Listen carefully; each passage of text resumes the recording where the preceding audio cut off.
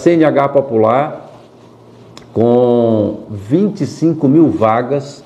É a carteira popular para as pessoas que estão no cadastro único, para as pessoas com deficiência. E nós vamos ter esse benefício para os 184 municípios do estado do Ceará. Uma pessoa, quando vai tirar uma carteira, pode ter um, investimento de R$ 1.500 a R$ 2.300.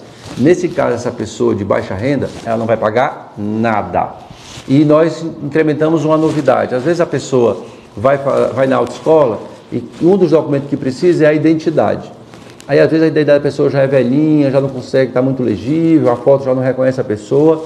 Então nós estamos autorizando, está garantido, que essa pessoa, a PEFOS, vai tirar uma segunda via da identidade dessa pessoa, também gratuita, para que por isso ela não deixe, por causa dessa dificuldade, ela deixe de tirar sua carteira, se tudo mais é gratuito. Então, Estamos muito felizes, a procura é imensa, né? as vagas já foram absolutamente é, preenchidas.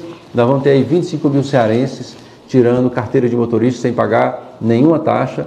E aqueles que vão fazer para moto recebem também o capacete completamente gratuito, o que é muito importante para a segurança dessa pessoa, para a saúde, para um trânsito mais é, adequado para o nosso povo.